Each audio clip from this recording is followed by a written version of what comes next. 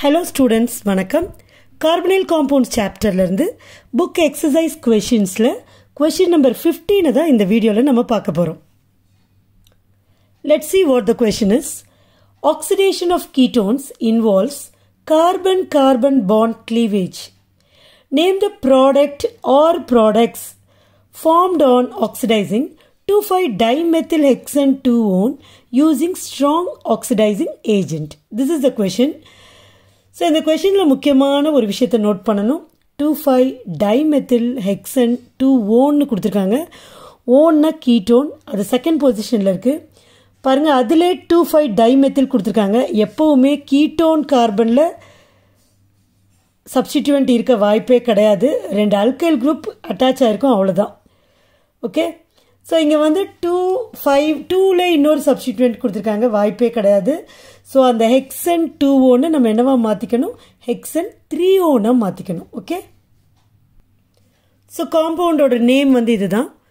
Let me write the structure of the compound okay hexan ஹெக்ஸன்னா six carbon atom so one two three four five six okay இதில் third கார்பனில் one அப்போ one two three double bond O ketone டூவில் ஃபைவ்ல dimethyl so டூவில் ஒரு methyl one two three four five ஃபைவ்ல ஒரு methyl and remaining carbon ஆட்டம்ஸை கனெக்ட் பண்ணி எத்தனை பாண்டு குறையுதோ அதுக்கு ஹைட்ரஜன் போட்டுடலாம்.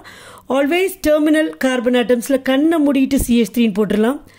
ஸோ இதில் பார்த்தீங்கன்னா ஒன் டூ த்ரீ பாண்ட்ஸ் இருக்குது ஒன்று குறையுது. ஸோ ஒரு ஹைட்ரஜன் ஸோ இங்கே ஃபோர் பாண்ட்ஸும் இருக்குது அதனால தான் ஒரு சப்ஸ்டிடியூண்ட் போடக்கூடாது அப்படின்னு சொன்னேன். ஸோ இங்கே பார்த்தீங்கன்னா ரெண்டு பாண்ட் ஸோ ரெண்டு குறையுது. ரெண்டு ஹைட்ரஜன் இங்கே மூணு பாண்ட் ஸோ ஒரு hydrogen CS three so this is the structure of two five dimethyl hexan three one okay so இந்த காம்பவுண்டை நம்ம என்ன பண்ண போகிறோம் we are going to oxidize this compound using a strong oxidizing agent so நம்ம ஈக்குவேஷனை வந்து கிளியராக எழுதுறதுக்காக இந்த காம்பவுண்டை நான் ந திரும்ப நடுவில் பெருசாக எழுதிடுறேன். So CH three CH CH three C double bond O CH two CH CH three CH three so this is two five dimethyl hexan three one இப்போ இதை ஒரு ஸ்ட்ராங் ஆக்சிடைசிங் ஏஜென்ட் யூஸ் பண்ணி ஆக்சிடைஸ் பண்ண போகிறோம் so ஒரு கீட்டோனை oxidise ஆகிறப்ப என்ன நடக்கும்ன்ற நமக்கு அந்த டீட்டெயில்ஸ் தெரிஞ்சிருக்கணும். எப்போவுமே ஒரு கீட்டோனை ஆக்சிடைஸ் பண்ணுறப்ப அங்கே கார்பனைல் கார்பனுக்கும் அதுக்கு பக்கத்தில் இருக்க கார்பனும் அந்த பாண்டு வந்து க்ளீவேஜ் ஆகும். க்ளீவேஜ் ஆகி ஃபைனலாக since we are using strong oxidizing agents நமக்கு எப்போவுமே ஆசிட்ஸ் தான் கிடைக்கும். ஸோ நடுவில் கீட்டோன் கூட ஃபார்ம் ஆகும். ஃபார்ம் ஆனாலும் நம்ம ஸ்ட்ராங் ஆக்சிடைசிங் ஏஜென்ட்ஸ் யூஸ் பண்ணுறதுனால ஃபைனல் ப்ராடக்ட் பார்த்திங்கன்னா நமக்கு வந்து கண்டிப்பாக ஆசிட்ஸாக கிடைக்கும். பட் இங் எப்போவுமே வந்து நம்ம எடுத்துக்கிற கீட்டோன் வந்து சிமெட்ரிக்கல் கீட்டோனா அன்சிமெட்ரிக்கல் கீட்டோனான்னு பார்க்கணும். ஸோ உங்களுக்கு சிமெட்ரிக்கல் கீட்டோன்னா என்ன? அன்சிமெட்ரிக்கல் கீட்டோன்னா என்னன்னு தெரியணும். இப்போ சிமெட்ரிக்கல் கீட்டோன்னா கீட்டோன் குரூப் அதாவது சி டபுள் பாண்ட் ஓக்கு ரெண்டு பக்கமும் அல்கைல் குரூப் இருக்கும் இல்லையா? If the alkyl groups are same அது வந்து symmetrical ketone if the alkyl groups are different which are connected to the carbonyl carbon atom if the alkyl groups are different it is said to be unsymmetrical ketone okay ஒரே மாதிரி ketone ஒரே மாதிரி alkyl group கீட்டோனோட ரெண்டு பக்கமும் இருந்துச்சுன்னா அது symmetrical வேறு வேறு அல்கைல் குரூப் இருந்துச்சுன்னா அது அன்சிமெட்ரிக்கல் ஓகே ஸோ இந்த காம்பவுண்ட் இவங்க கொடுத்துருக்க கொஷினில் கொடுத்துருக்க காம்பவுண்ட் பாருங்கள் இந்த பக்கம் இருக்கிற அல்கைல் குரூப்பும் இந்த சைடில் இருக்க அல்கைல் குரூப்பும் டிஃப்ரெண்ட்டு பார்த்தாலே உங்களுக்கு தெரியும். Therefore this is an unsymmetrical ketone okay இப்போ என்னென்னா அன்சிமெட்ரிக்கல் கீட்டோன் வர்றப்போ தான் நமக்கு ஒரு ப்ராப்ளம் வருது. எந்த பக்கம் இருக்கிற ஏன்னா இந்த பக்கம் இருக்கிற அல்கைல் குரூப் வேறு இந்த பக்கம் இருக்கிற அல்கைல் குரூப் வேறு.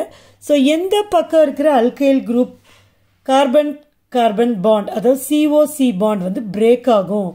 இந்த பக்கம் சின்னதாக இருக்கே இந்த பக்கம் பெருசாக இருக்கே அப்படின்னு பார்க்குறப்ப தான் போப்போர்ஸ் ரூல் வந்து நமக்கு ஒரு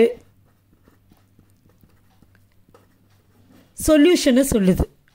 போப்போர்ஸ் ரூல் இந்த ரூல் என்ன சொல்லுதுன்னா கார்பனைல் கார்பன் எந்த அல்கைல் குரூப் கூட அட்டாச் ஆகி க்ளீவேஜ் ஆகும்னா it always stay stays with smaller alkyl group அதாவது கார்பனைல் குரூப்பு பாண்டு பிரேக் ஆகும்.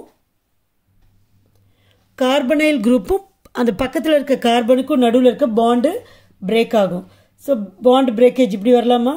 இதுதான் கார்பனைலுக்கும் கார்பனுக்கும் சிஓ சி இந்த பாண்டு தான் பிரேக் ஆகும். ஓகே ஸோ இந்த பாண்டு பிரேக் ஆகலாம். ஆர்எல்ஸ் இதுவும் தானே? சி டபுள் பாண்டுவோ சி இந்த பாண்டையும் பிரேக் ஆகலாம். ஸோ எது வேணால் பிரேக் ஆகலாம். ஆனால் போஃபோஃப்ஸ் ரூல் என்ன சொல்லுதுன்னா கார்பனைல் குரூப் எப்போவுமே ஸ்மாலர் அல்கைல் குரூப் கூட இருக்கிறத தான் ப்ரிஃபர் பண்ணோம். It prefers to stay with smaller alkyl group அப்போது இதுக்கு இந்த ஸ்மாலர் அல்கைல் குரூப் கூட தான் இருக்க தான் ப்ரிஃபர் பண்ணணும். அப்போ இந்த பாண்டு உடையாது. ஸோ இந்த பாண்டு தான் உடையும். ஓகேவா ஸோ இது மாதிரி உடஞ்சி கிடைக்கிற இந்த பாண்டு க்ளீவ் ஆகி கிடைக்கிற ப்ராடக்ட்ஸ் தான் மேஜர் ப்ராடக்ட்ஸாக இருக்கும். அப்போ இது நடக்காதா? இந்த க்ளீவேஜ் நடக்காதா? அப்படின்னு கொஷின் பண்ணலாம். நடக்கும் ஆனால் டு அ ஸ்மால் எக்ஸ்டென்ட் அப்போ நிறைய பாண்ட் இங்கே தான் நிறைய அளவுக்கு பிரேக் ஆகும். வெரஸ் இங்கே வந்து பிரேக் ஆகிறது will be very very less therefore இந்த பாண்ட் பிரேக் ஆகி உண்டாகிற products will be less but இந்த ப்ராடக்ட் இந்த பாண்ட் பிரேக் ஆகி ஃபார்ம் ஆகிற ப்ராடக்ட்ஸோட percentage amount will be more இப்போ நான் ப்ராடக்ட்ஸ் போட்டால் உங்களுக்கு புரிஞ்சிடும் ஸோ இந்த ரெண்டு பாயிண்ட்டையும் எப்போ அன்சிமெட்ரிக்கல் கீட்டோன் வந்தாலும் ஆக்சிடேஷனில் இந்த பாயிண்ட்டை நம்ம ஞாபகம் வச்சுக்கணும். ஓகே இப்போ வந்து நம்ம ப்ராடக்ட்ஸ் எழுத போகிறோம் பாருங்கள் ஃபஸ்ட்டு வந்து மேஜர் ப்ராடக்ட் எழுதிடுவோம் ஸோ நான் இப்படி பிரித்தே எழுதுகிறேன் அதுக்கப்புறமா உங்களுக்கு புரியறதுக்காக தான் எழுதுகிறேன் பட் எக்ஸாமில் நீங்கள் இப்படிலாம் எழுதணும்னு அவசியமே கிடையாது. You can directly write away the products okay உங்களுக்கு இது க்ளீவேஜ் பண்ணி நீங்களே மனப்பாடம் பண்ணாமல் இதை டைரெக்டாக இந்த மாதிரி ஆக்சிடேஷன் அதுவும் especially ketone and especially unsymmetrical கீட்டோன்னா க்ரியேட்டிவாக கொஸ்டின் கொடுத்தா கூட நீங்கள் ப்ராடக்டை எழுதணுன்றதுக்காக நான் இந்த மாதிரி எழுதுகிறேன் ஸோ ஃபைனலாக நான் வந்து சம்மப் பண்ணி அந்த என்ன ப்ராடக்ட்ஸ் கிடைக்குதுன்னு எழுதுவேன். ஸோ அதை மட்டும் நீங்கள் எக்ஸாமில் எழுதினாலே உங்களுக்கு மார்க் கொடுத்துருவாங்க. So this is for your sake of understanding so பார்த்தீங்கன்னா சப்போஸ் இந்த பாண்ட் க்ளீவ் ஆகுது. நீங்கள் இதை மட்டும் தான் ஞாபகம் வச்சுக்கணும் இது மறந்துடணும். அப்போ இந்த பாண்டு க்ளீவ் ஆகுதுன்னா இந்த பக்கம் எவ்வளோ கார்பன் ஆட்டம்ஸ் இருக்குன்னு பாருங்கள் இந்த பக்கம் எவ்வளோ கார்பன் ஆட்டம்ஸ் இருக்குன்னு பாருங்கள் ஓகே அப்போது இந்த பக்கம் one two three four carbon atoms இருக்குது இது அப்படியே இருக்கும். இது மட்டும் சிஓ வச்சுருக்கும். இது ஓகே இந்த குரூப் அப்போ என்ன ஃபார்ம் ஆகுது? அப்படின்னு பார்த்தீங்கன்னா CH okay CH three CH three இந்த இது வந்து அப்படியே சிஓ வச்சு ஆகிடும் ஏன்னா ஆசிடாக தான் ஆசிட் தான் நமக்கு ப்ராடக்டாக கிடைக்கும். ஸோ நீங்கள் செக் பண்ணிக்கலாம். இந்த பாண்டு க்ளீவ் ஆகுது. ஸோ இது இது ஒரு ஆசிட் இது ஒரு ஆசிட் அப்போ இது CH three CH CH three COH இந்த சிஹெச் டூ சிஓஹெச் ஆகிடும் ப்ளஸ் இன்னொரு ப்ராடக்ட் கிடைக்கும் இல்லையா? அப்போ இந்த இந்த பார்ட் கிடைக்கும். அப்போ இந்த பார்ட்டில் பார்த்தீங்கன்னா CH three CH CH three இந்த சிஓ இது கூட தானே இருக்கும். அப்போ இது சிஓ ஆகிடும் பாருங்கள் கிட்டத்தட்ட ரெண்டு ஒரே கிட்டத்தட்ட இல்லை they are both are same ரெண்டுமே same product so two molecules of இந்த ஆசிட் ஃபார்ம் ஆகிடும் ஓகே ரைட் இந்த க்ளீவேஜுக்கு வேணால் பி க்ளீவேஜ்னு வச்சுப்போம். ஓகே இதை வந்து ஏ க்ளீவேஜ்னு வச்சுப்போம். நம்ம டிஃப்ரென்ஷியேட் பண்ணுறதுக்காக இப்போ பியை தான் நம்ம பார்த்தோம் இங்கே உடையுதுன்னு. இப்போ நீங்கள் இதை மறந்துடணும். இந்த பாண்டு உடையுதுன்னு ஞாபகம் வச்சுக்கணும். ஓகே அப்போ இந்த பாண்டு உடையுதுன்னா நமக்கு பாருங்கள் இந்த கலர் பாருங்கள் இந்த இது ஒரு ஆசிடாகவும் ஏன்னா இங்கே இந்த பாண்டு தானே உடைய போகுது. இது ஒரு ஆசிடாகவும் கிடைக்கணும். அப்போ ப்ராடக்ட் என்ன கிடைக்கும்னு பார்த்தீங்கன்னா ஸோ இது வரைக்கும் ஒரு ஆசிட் அப்போது இதெல்லாம் அப்படியே பார்க்கலாம் பார்த்து எழுதிடலாம். சிஹெச் த்ரீ சிஹெச் பாருங்கள் இந்த சிஹெச் த்ரீ இது இந்த சிஹெச் இதுக்கு மேலே ஒரு சிஹெச் த்ரீ இருக்குது சிஹெச் த்ரீ அதுக்கப்புறம் சிஹெச் டூ இருக்குது இங்கே தானே உடையுது அப்போ C double bond O OH so இப்படி ஒரு ஆசிட் கிடைக்குது ஓகே அதுக்கப்புறம் பார்த்தீங்கன்னா இது இது உடஞ்சி இது தானே கிடைக்கும். இது வந்து கீட்டோனாக கிடைச்சிரும். அப்போ அந்த கீட்டோன் என்னன்னு பார்த்தீங்கன்னா சிஹெச் த்ரீ சிஹெச் வந்து சிஓ ஆகிடும் CH three C double bond O CH த்ரீயாக கிடைக்கும்.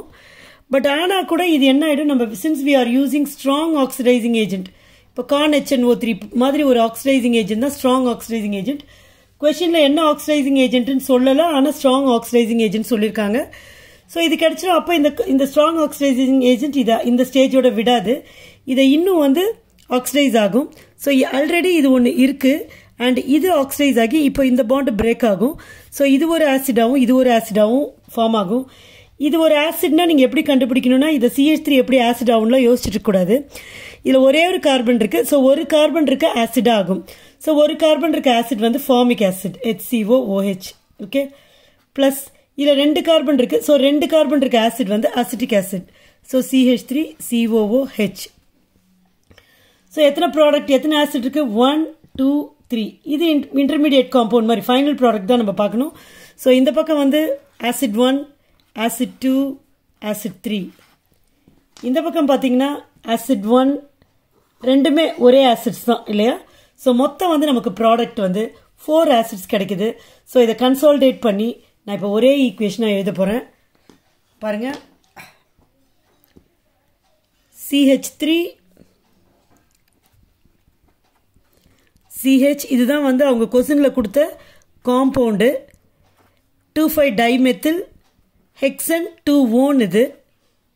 CH CH three CH three okay இப்போ இது வந்து which when oxidized with a strong oxidizing agent such as con HNO3 என்ன நடக்கும் பாருங்க நாலு ஆசிடும் கிடைக்கிறதுல நாலு ஆசிட்ஸும் நம்ம எழுதிடணும். ஸோ ஃபஸ்ட் ஆசிட் இதை எழுதிடுவோம் okay CH three CH CH three CH two COOH plus இது ரெண்டு மாலிக்யூல் இல்லையா? Two CH three CH, CH3, COH. Okay. Then இங்கே இன்னொரு ஆசிட் இருக்கு. CH three COH plus HCOH so இவ்வளோ ஆசிட்ஸும் ஃபார்ம் ஆகும். பட் இதில் முக்கியமான ஒரு விஷயம் நீங்கள் என்ன நோட் பண்ணணும்னா எப்போவுமே கார்பனைல் குரூப் வந்து என்ன பண்ணும்? It it prefers to stay with the smaller alkyl group அப்போ இது இது கூட இருக்கணும்னா இந்த பாண்டு தான் உடஞ்சிருக்கும். புரியுதா? It prefers to stay with the smaller alkyl group இதுதான் ஸ்மாலர் இதுக்கு பெருசாக இருக்குது அப்போ இது கூட தான் இந்த சிஓ இருக்கணும்னா இந்த பாண்டு தான் உடையணும். இப்போ இந்த பாண்டு உடஞ்சிச்சுன்னா சிஓ பெருசு கூட போயிடும். அதனால் இந்த பாண்டு உடையாது இந்த பாண்டு தான் உடையும். ஸோ எல்லாமே இதுவும் உடையுதுன்னா ஆனால் டு ஸ்மாலர் எக்ஸ்டென்ட்னா ஸோ இப்போ இது பிரேக் ஆகி உண்டாகிற ப்ராடக்ட்ஸ் தான் மேஜர் ப்ராடக்டாக இருக்கும். அப்போ these are the major products இது வந்து மைனர் ப்ராடக்ட்ஸாக இருக்கும் கொஞ்சமாக இருக்கும். ஸோ இதுதான் வந்து இந்த ஈக்குவேஷனில் இதுதான் மேஜர் ப்ராடக்ட் அண்ட் இந்த other three acids three acids are minor products அதை மட்டும் கொஞ்சம் ஞாபகம் வச்சுக்கணும். Okay so this is the these are the acids these are the compounds formed as the oxidation products of uh, Uh, 2,5 dimethyl hexane 2 3 one using a strong oxidizing agent. Okay? So இந்த ஆசிட்ஸோட names ஒன்றும் கஷ்டம் இல்லை. இது formic acid இது acetic acid or ethanoic acid இது methanoic acid so இது பார்த்திங்கன்னா one two three three carbon atoms இருக்குது ஸோ ப்ரொப்பனாயிக் ஆசிட் இதில் செகண்ட் கார்பனில் மெத்தில் இருக்குது so two methyl propanoic acid அது. Two methyl propanoic acid and இந்த காம்பவுண்ட் பார்த்தீங்கன்னா one two three four four இருக்குது butanoic acid so butanoic ஆசிடில் one one two three third கார்பனில் methyl இருக்குது so three methyl butanoic acid okay so these are the names of names acids these acids.